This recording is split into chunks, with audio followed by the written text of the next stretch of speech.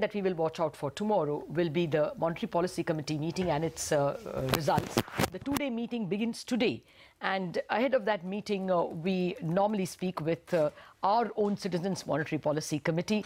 That's five well-known economists. Uh, just listening to a slice of the conversation, it's actually liquidity, abundant liquidity in the market and uh, what the Reserve Bank might do about it.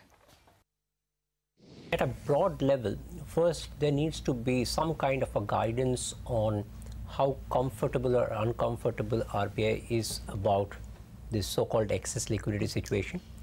Uh, if you recall when RBI moved from the tight liquidity to neutral liquidity, the governor expressed that it could take about a year, two years to make this transition. Yes. So in this case, from this excess liquidity to neutral liquidity, how much time RBI is comfortable giving the markets mm. in making the transition is, I think, going to be quite crucial.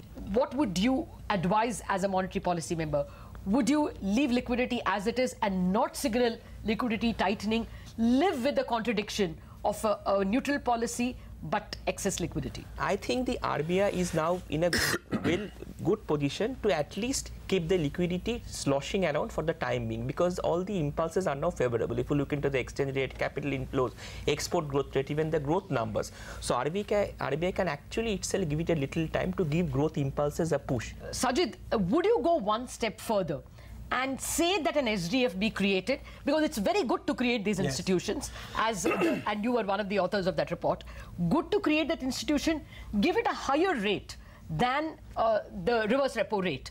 Uh, simply because banks need help. The issue is not the rate. The issue is whether you suck out the liquidity durably they are sucking this out every day through the reverse repo.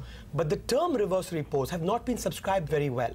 So the object of an SDF would primarily be to absorb the liquidity in the form of a term deposit. Mm. Whether that's 14 days or 28 days, that's a matter of So discretion. you would want the deposit? So number one, you would want to suck out this liquidity in a term deposit. Okay. Number two, as Sonal said, you don't want to do it by disturbing the operating target, which is to say that the call rate must still operate in the range. Mm. So what you want to do is take out the infra-marginal call liquidity, but at the margin, banks will still go to the reverse repo window, so your call rate doesn't change. Would you allow liquidity to remain surplus uh, at this point in time and not drain it, or would you have the Reserve Bank drain liquidity in a permanent way through a CRR or uh, an OMO. Don't drain yep. the liquidity, leave it as it is. Drain. Okay, drain out the liquidity. Okay, gradually remove. At current levels, don't drain the liquidity. Gradually drain, but not through the CRR or OMO sales. Do it through remunerated SDF.